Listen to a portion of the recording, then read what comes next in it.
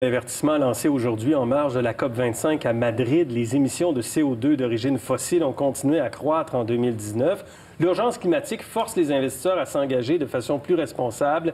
Quels sont les risques pour l'économie, l'environnement économique? Avec nous, Martin Coiteux, économiste en chef de la Caisse de dépôt et placement du Québec. Bonsoir, Martin Coiteux. Bonsoir à vous. Ancien ministre. On vous a beaucoup vu euh, dans l'actualité pendant des années. Comment allez-vous? très bien. Honnêtement, c'est un métier passionnant que celui d'économiste en chef. Dans les faits, moi, je suis retourné à ce qui était mes anciennes amours. Oui. Mais dans une superbe organisation qui est, qui est la Caisse de dépôt. Vous ennuyez-vous de la politique? Non, honnêtement, non, pas du tout.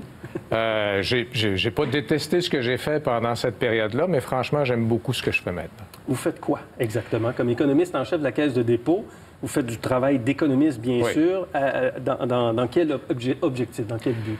D'un, j'ai une équipe euh, vraiment superbe d'une vingtaine d'économistes. La majeure partie est à Montréal, mais j'en ai qui sont aux États-Unis, j'en ai qui sont en Asie également dans mon équipe. Et on forme une vue caisse sur les grands risques qu'il y a dans l'économie mondiale. On fait des scénarios sur l'économie mondiale, on fait le suivi des banques centrales et ce que ça peut impliquer, évidemment, sur l'environnement d'investissement. Oui mais on fait un scan du monde entier, donc c'est passionnant. Donc, dans l'intérêt d'investissement de la Caisse de dépôt, la Caisse regarde vos analyses économiques. Essentiellement, et, plus profondément dans l'intérêt des déposants. Alors, les déposants confient des sommes à la Caisse et des décisions se prennent en matière d'investissement, de répartition des actifs géographiques par classe d'actifs. Et les grandes tendances de l'économie, c'est une variable absolument essentielle. Qu'est-ce qu'on doit savoir? Qu'est-ce qui est important dans votre radar présentement? Bien, beaucoup de choses. Si on regarde le long terme, euh, vous avez ouvert, vous avez ouvert la discussion sur les changements climatiques. C'est clair que ça va être un enjeu majeur. C'est pas un enjeu conjoncturel, c'est un enjeu qui va nous accompagner longtemps. Si on regarde la conjoncture, essentiellement, je pense que ce qui est le plus important, est-ce que les États-Unis et la Chine vont trouver un terrain d'entente? Alors ça, je pense, c'est très important pour euh, les perspectives 2020 en particulier. Euh, les banques centrales ont donné un coup de pouce récemment parce qu'elles ont euh, elles sont presque toutes passées en mode assouplissement des politiques monétaires. Donc, les perspectives de trêve commerciale, et je parle de trêve, hein, je ne pense pas que ça règle le problème entre les États-Unis et la Chine, et l'assouplissement monétaire qu'on observe un peu partout sur la planète, conjoncturellement, c'est de bonne augure. Est-ce que vous avez l'impression euh, à chaque jour que euh, l'avenir des tensions commerciales et d'un accord commercial se joue à peu près chaque jour, que la tendance n'est pas précise là-dessus? Il peut y avoir une trêve commerciale qui serait positive pour l'économie mondiale en 2020, mais il ne il faudrait pas être naïf et croire que ça va régler le problème de la rivalité entre la Chine et les États-Unis. À plus long terme, ce qui se passe, c'est une rivalité technologique, c'est une rivalité géopolitique tout court. Et dans le fond, ce que ça remet en question, et ça c'est fondamental, c'est le modèle de mondialisation économique qu'on a connu euh, depuis, euh, même avant l'entrée de la Chine euh, au sein de l'OMC. Donc, un monde beaucoup plus protectionniste. Un monde plus protectionniste, un monde, moi j'appelle ça la bifurcation entre deux mondes. Alors, il y a des standards technologiques qui vont être plus près des développements technologiques des entreprises chinoises. Et je pense que d'un autre côté, bien, ça va être l'Occident, les États-Unis, l'Europe, euh, qui vont avoir des standards un peu différents. Et ça, ça change drôlement la donne pour le futur. Donc, ça veut dire quoi des standards un peu différents? ça veut dire, par exemple, dans le domaine de l'intelligence artificielle, dans le domaine du 5G, est-ce qu'on peut penser à ce qu'il y ait une convergence des standards comme on aurait pu le penser à l'époque de la grande mondialisation de l'économie où tout le monde faisait finalement ensemble les mêmes choses avec les mêmes standards? Je pense que dans l'environnement qui s'en vient, ça ne sera pas le cas.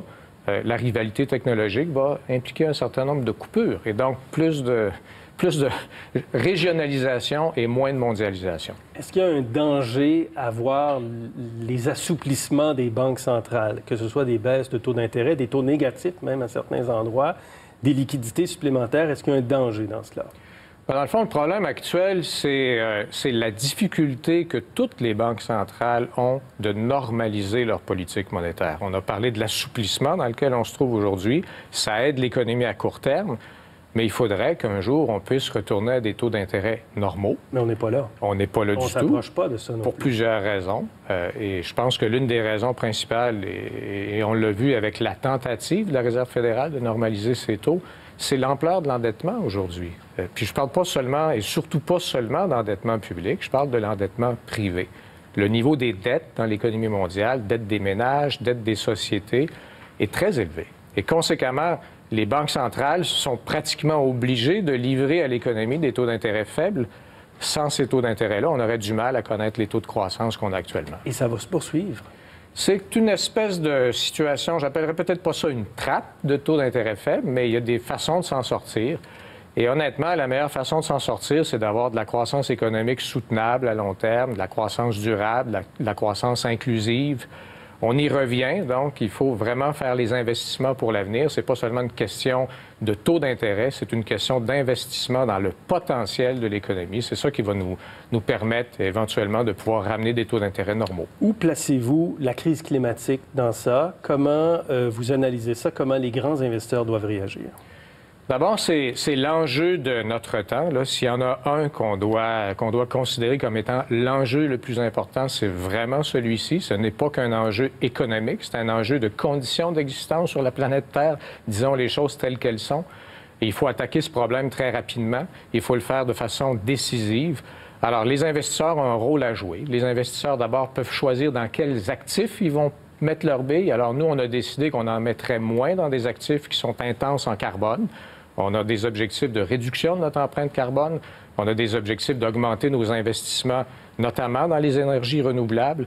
Et je dirais aussi, c'est de travailler avec des partenaires, donc avec d'autres investisseurs, c'est de pousser euh, l'ensemble de la société à en faire davantage, les entreprises à être plus transparentes sur leur stratégie d'investissement, sur leur modèle d'affaires, quel est le risque climatique qui s'applique à elles et quelles sont leurs stratégies finalement pour non pas augmenter les risques climatiques, mais au contraire les réduire. Et c'est là qu'il faut investir dans le futur.